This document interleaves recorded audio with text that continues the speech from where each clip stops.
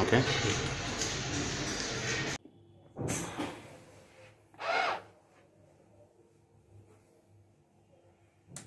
Second interval.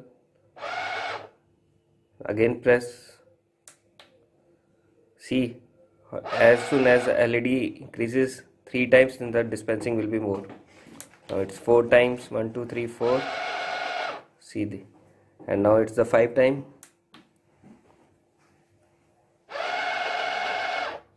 see Hmm, now it blinks one time see the quantity. So you can adjust the quantity. This is the lowest one. Second we when we press it it is increased. Now again we will press it.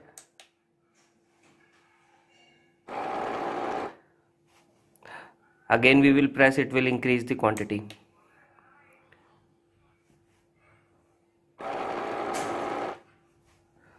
now again there are five options of it. C. Remove. Now.